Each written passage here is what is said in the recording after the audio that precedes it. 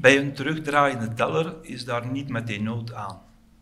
Maar als die niet terugdraait, is het belangrijk om de eigen geproduceerde stroom zoveel mogelijk meteen te verbruiken. Laat de grootverbruikers in huis overdag draaien, zeker tussen half april en half september. Plaats hiertoe een timer op je elektrische boiler of warmtepompboiler of benut de programmeermogelijkheden van het toestel. Bij een wasmachine, droogkast of vaatwasser gebruik je de uitgestelde start of duw je zelf op de startknop als je thuis bent. Heb je een elektrische auto, laat die dan zoveel mogelijk traagjes opladen tijdens de dag. Er bestaan oplaadstations met een meetsysteem dat het verbruik van zonnestroom kan maximaliseren.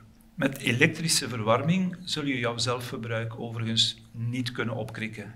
Je zonnepanelen produceren immers te weinig stroom tussen november en april, net wanneer je de verwarming het meest opzet. In Vlaanderen kun je met een digitale meter via het gratis online platform van netbeheerder Fluvius jouw afname en injectie per kwartier raadplegen. Dat geeft je een beter inzicht in je energieverbruik.